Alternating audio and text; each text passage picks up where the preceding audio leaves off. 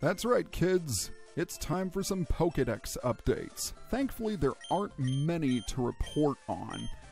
If we go down a ways, I caught a Venonat while I was on Route 18.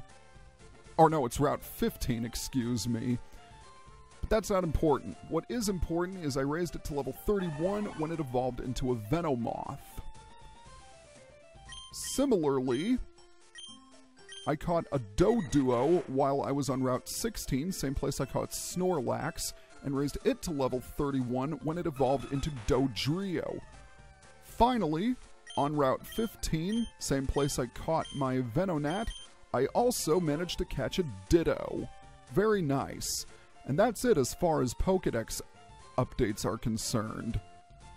This should bring me to 64 out of 66, or 64 out of 150 rather than 66. The reason why my numbers are up a ways is because I also have some updates to my Pokemon team. Guess what? I traded both Yulin and Rasmussen off screen, which means that Yulin evolved into Alakazam and Rasmussen evolved into Golem. It feels so great to have both of them reach their final stage of evolution, because now they're really going to kick some butt, particularly in the next gym. But I'm getting ahead of myself. What's happening, guys? My name is Adam, aka Speedy Spectrum, and welcome back to Let's Play and Dub Pokemon Fire Red version. Before we get started, please be sure to leave a like and hit that big red subscribe button to subscribe my channel. Every one of those helps. In the last episode, we traveled down some routes, battled some trainers, and got some experience. In this episode, we're going to explore Fuchsia City and maybe even challenge the Fuchsia City Gym. We have this uh, zoo of sorts, and there are different Pokemon here, and if you check them, their pictures will be added to your Pokedex. However, in order to get the full entry, you will of course need to catch them. Speaking of which, we're going to head up here to this building, home of the Safari game, Pokemon You Catch. But for simplicity's sake, let's just call it the Safari Zone. And we're going to pay a visit. It costs 500 Pokédon. There, it costs 500 Poké Dollars in order to enter. And it's very much in our best interest to go because there are a couple of things that we need to pick up while we're here. We're also going to receive 30 Safari Balls. More on that later. For now, welcome to the Safari Zone. This is where some of the rarest Pokemon in the game can be found, and they can only be found here. You see, this place works a little bit differently than others. For starters, you don't battle the Pokemon one on one. Instead, you have to use items in order to capture them. You have three options. You can either toss a Safari Ball, you can toss some bait, or you can toss a rock. The Pokemon that can be found in the Safari Zone can run away, just like you can in a regular wild Pokemon battle. Now, if you toss a rock at the Pokemon, they will get angry, which makes them more likely to run away, but easier to catch. Conversely, if you toss bait at the Pokemon, it'll make them harder to catch, but more likely to stay. and it wasn't very evident right there. Oh, wow. I get attacked by two wild Pokemon while I'm on the same square. And if I didn't know any better, I'd say this was probably the exact same Nidoran that I tried to catch earlier. But since I already have a Nidoran, I don't need one.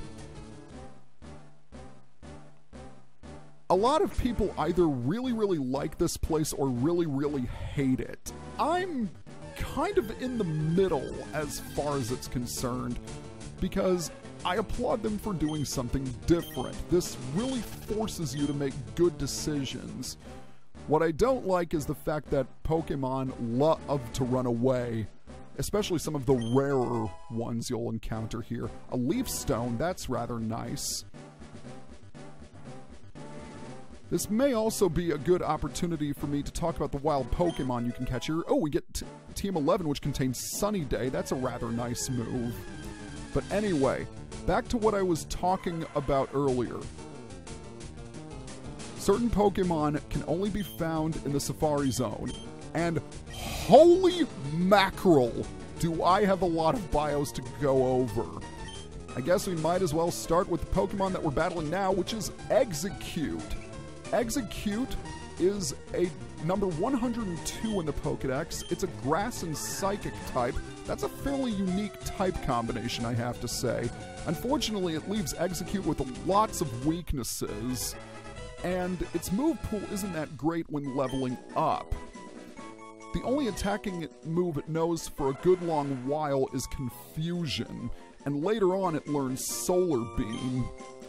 You'll have to use TMs in order for Exeggcute to reach its full potential, but when you do evolve it into Exeggutor using a Leaf Stone, then it gets a ton of special attack, and unlike other grass types, it can actually use its special ability of Chlorophyll pretty well since its speed is rather low to start with. So if you do, so uh, Exeggcute would be a great Pokemon to teach that Sunny Day TM that you just got. Now, the next Pokemon we can encounter is Parasect, number 47 in the Pokedex. I think Exeggcute has potential. Parasect does not. Parasect is a bug and grass type. It's the evolved form of Paras, obviously, and everything I said about Parasect, or Paras, excuse me, remains the same with Parasect. Its typing is horrible its stats are terrible. The only reason you would want to use it is because it learns Spore and makes for a good HM slave. Otherwise, don't even bother. Now, next up, we have Scyther. Number 123 in the Pokedex, Scyther is exclusive to Fire Red only. It's a bug and flying type and I am not a fan of its typing. Never have been, never will. A crippling weakness to rock attacks, but Scyther is very speedy and aggressive. It does have an evolution which is unfortunately inaccessible until post game, and that's a shame because I really like Scizor a lot. Its move pool isn't really the greatest either. It doesn't learn very many attacking moves, and its coverage is pretty shallow as well. It is, however, one of the few Pokemon that can learn False Swipe. False Swipe is a rather interesting move because it always ensures the the enemy Pokemon has at least one uh, HP left over, which makes it really useful when you're battling difficult to catch Pokemon. Unfortunately, it doesn't really work in this area. You'll also notice that I obtained TM47, which is Steel Wing. And that's a pretty handy move uh, for any flying Pokemon to learn because it gives them coverage against rock Pokemon. But we can talk about that later. On to the next Pokemon, and that is Pinsir. Number 127 in the Pokedex, Pinsir is a bug type and it is exclusive to Leaf Green. Pinsir, along with Scyther, is incredible incredibly difficult to catch. They'll try to run away at the soonest possible moment.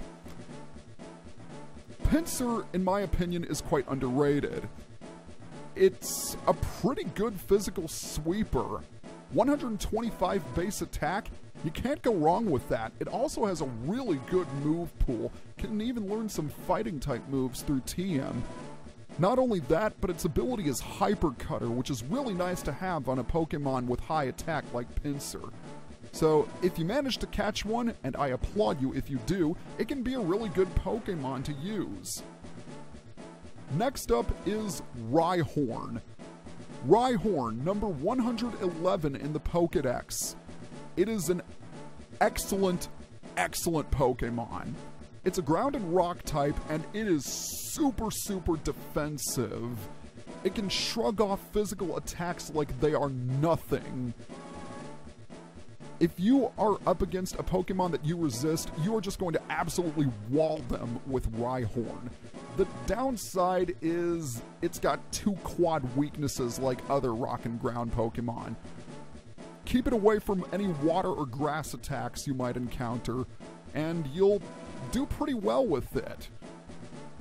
Of the two possible abilities it has, I would definitely say Rockhead is better than Lightning Rod. It also evolves relatively late at level 42, so you're definitely going to have to be patient with it. But if you can get it up there, great Pokemon. And speaking of great Pokemon, that brings us to Chansey. Number 113 in the Pokedex. Chansey is a normal type.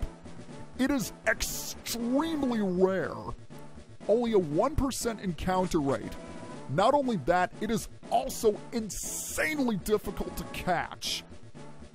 But if somehow, some way, you manage to get your hands on it, you will have, without question, the best special wall in the entire game. And that is buffed by its massive, massive HP.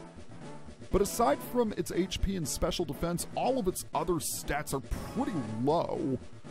But that should not dissuade you from using Chansey, by no means. It also has two great abilities Natural Cure and Serene Grace.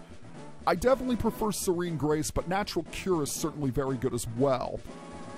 I just like Serene Grace because it complements Chansey's phenomenal move pool. Of course, being a normal type, there is great diversity in the number of moves that it can learn. It even has an evolution, which is obviously inaccessible until post game. But what really makes Chansey great is the fact that it can learn Soft Boiled.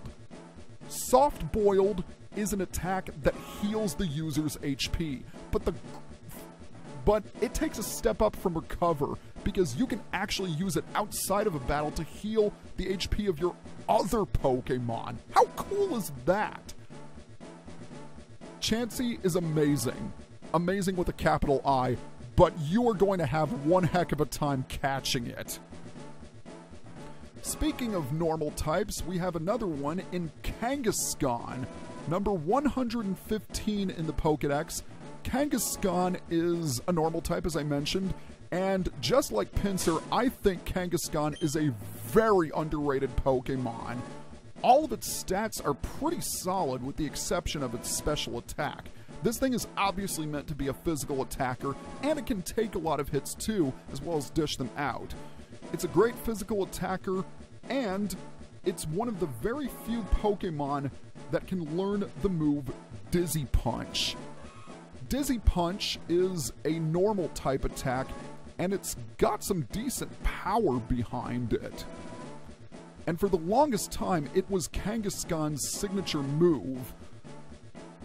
Prior to Generation 3, that is. I think it has a power of 70, and it can potentially cause confusion. I'm not 100% sure.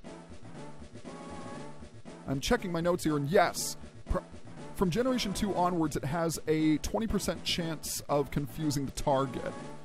Overall, it's a great Pokemon, and it got even better once it received a Mega Evolution. So next up, we have Venomoth, number 49 in the Pokedex. Venomoth is a bug and poison type, the evolved form of Venonat, obviously. And what I said about Venonat remains true for Venomoth. Its stats are okay for a bug type, it's got lots of weaknesses, and it can learn some psychic attacks, as well as the standard powder moves. Shield Dust is a nice ability, but one thing I never understood about Venomoth is that even though it is clearly shown to be flying, it can somehow be hit by ground types. I don't understand it either. Now, last up is Tauros. Number 128 in the Pokedex, Tauros is a normal type, like Chansey. And also like Chansey, it only has a 1% encounter rate. And just like Chansey, it's also extremely difficult to catch. But when you do get it, oh man, you'll have an amazing Pokemon. Tauros is incredibly fast, and it's one of the most powerful physical attackers you can get. Even though I tend to prefer Snorlax, it makes a it fits into almost any team, and it also has Intimidate, which is really, really nice. Tauros was a competitive king back in the days of red, blue, and yellow. And for good reason, it just stampeded everything in its path. And while it's not quite as dominant as it once was, it's still a relatively solid Pokemon. But just like Chansey, you see what I'm getting at here? Good luck trying to catch it. Okay, at long last, the bios are done. Well, most of them, anyway. We're in the third area of the Safari Zone, and we're going to grab this Pokeball, which contains the Gold Teeth. This is a significant item we'll use a little later on. And we'll also grab this item, which is TM32, that contains Double Team. I've used that before. And now, we are at the end of the Safari Zone. How many steps do we have? We have 122, not bad. We're going to go in here, and we're going to talk to this dude. Ah, finally! You're the first person to reach the secret house. Although I made a campaign for our grand opening, I was getting worried that no one would win our campaign prize. Congratulations, you have won! And he gives us HM3 as a reward. HM3 is Surf. Pokemon will be able to ferry you across water using it. And this HM isn't disposable, so you can use it over and over. You're super lucky for winning this fabulous prize. Darn right we're lucky because Surf is easily my favorite HM in the entire game. And uh, we're going to go ahead and teach Surf to one of our Pokemon right now. Surf is a water type move with a power of 95, very nice. And like other HMs, it has a secondary function. In Surf's case, you can ride on water.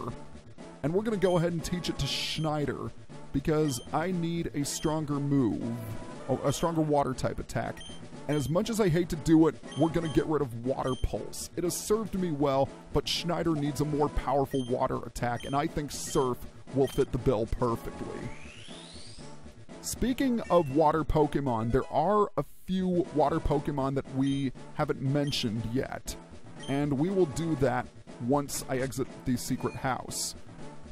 We're gonna.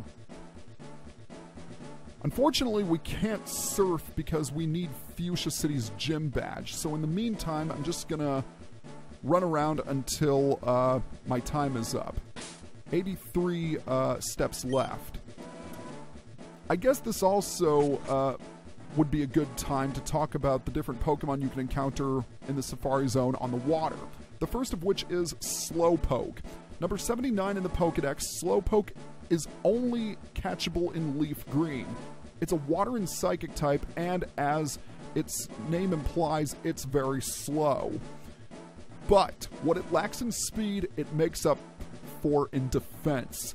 Slowpoke can tank a lot of hits, especially when it evolves. It also makes for a very strong special attacker. Own Tempo is definitely the better of the two abilities because an immunity to confusion is overall more handy to have than an immunity to infatuation. Slowpoke does have an alternate evolution that is obviously inaccessible until post game, Unfortunately, it doesn't evolve until level 37, which is quite a ways away. But when it does evolve into Slowbro, it can take hits all day long, and it got even better in Generation 4 when it received Slack Off. So Slowpoke is a great Pokemon. Now, for those of you who are playing Fire Red, you will instead be able to catch Psyduck. Number 54 in the Pokedex, Psyduck is exclusive to Fire Red, as I already mentioned, and its stats are respectable. And let's face it, if you've ever seen the anime, then you should know all about Psyduck. Uh, it is tough to raise, and when it does evolve, it makes an alright special attacker. There are certainly better water types, I think, that are out there. Uh, Cloud9 is definitely the better of the two abilities. Damp is just flat out useless. Speaking of water types, Let's move on to another one. Poliwag, number 60 in the Pokedex. Poliwag is a pure water type, and its stats are alright, and it does have a decent move pool. Plus, when it reaches its final stage of evolution, it gets a fighting type, which gives it more possibilities, as well as a potency as a mixed attacker. It's not half bad. I will say it's a better physical attacker than it is a special one. It's decently bulky too, but just like Psyduck, I think there are better water types out there. And like Slowpoke, it also has an alternate evolution that is inaccessible until post-game. There are certainly better water types out there, as I've mentioned before. This is not one of those Pokemon. Number 118, Goldeen. Its stats are mediocre, its abilities are underwhelming. It is not recommended, and it doesn't evolve until level 33. For those of you who have played Super Smash Bros. before, you'll know why Goldeen is so useless. But if you're really lucky, you can even capture its evolved form, and that is Seaking. Seaking, number 119 in the Pokedex, is rather subpar, just like Goldeen. The move, its move pool is extremely shallow, and interestingly enough, its beta name was Neptune. That's unusual. Interestingly enough, in Generation 1, it was the only Pokemon that could learn Waterfall, because back then, Waterfall wasn't even a TM. But that really shouldn't uh, persuade you to add Seaking to your team. There are better water types out there. Lastly, is a Pokemon that can only be accessible to fishing, or that can only be caught by fishing, and that is Dratini. Now, this is a Pokemon worth talking about. Dratini is number 147 in the Pokedex. Dratini, along with its evolutions, are the only dragon type Pokemon in the game. Granted, its stats are pretty low when you first catch it, but when it evolves, oh man, will you have a powerhouse. It gets massive physical attack upon evolving. The problem is that it doesn't reach its first stage of evolution until it reaches level 30, and you catch it at level 15. So it really does take some dedication. Not only that, but it doesn't reach its final stage of evolution until level 55. So by the time it does evolve, you're probably going to be close to the end of the game. But if you persevere enough and you raise it all the way up to its final stage of evolution of Dragonite, it's got a fantastic move pool. It's a great Pokemon. It's also relatively tough to catch in the Safari Zone. And even rarer, sometimes you can even encounter its evolved form, Dragonair. Number 148 in the Pokedex, Dragonair is extremely rare only a 1% encounter rate with the Super Rod, and it's tough to raise like Dratini. But everything I said about Dratini remains consistent with Dragonair. Tough to raise, needs patience to raise, but it's a great Pokemon once it finally evolves. Interestingly enough, Dragonair's beta name was Dragon. Yeah, real original. Okay, at long last, the bios are over and done with. This is pretty much going to be the episode of the bios. Oh, okay, looks like our Safari game is up. I don't know if I obtained all of the items, but uh, yeah. There are a couple of other things I can do while I'm here. And yeah, I'm going to go ahead and take care of them right now. I don't think I'm going to have enough time to challenge the gym leader, but that's okay. There are still some other things I can do. For starters, I'm going to go in this door and talk to this dude. This guy's the fishing guru's older brother, just like the last one. Yes, we can tell him that we love to fish. And he gives us the good rod. As far as fishing rods go, this one's right in the middle between the old rod and the super rod. The fact that you get it after you get the best rod in the game is rather odd, to be sure. Okay, uh, yes, this is the right door that we. This is the right house we need to be in. This guy is the Safari Zone Warden, and we give him the gold teeth. Yeah, I don't know what his teeth were doing in the Safari Zone, but uh, yeah. Thanks, son. You're a real lifesaver. No one could understand a word that I said, not a one. I was too ashamed to show my face around the office, even. Uh, let me give you something for your trouble. And he gives us HM4, which contains the move Strength. And I'm going to go ahead and teach it to one of my Pokemon, believe it or not.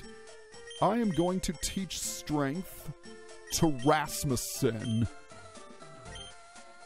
And I think I am going to replace Mega Punch. Mega Punch has served me well, but I think Strength is going to be a little bit more reliable. That's right, Rasmussen. Power up. And we're going to go ahead and use Strength on this boulder. That is Strength's secondary function.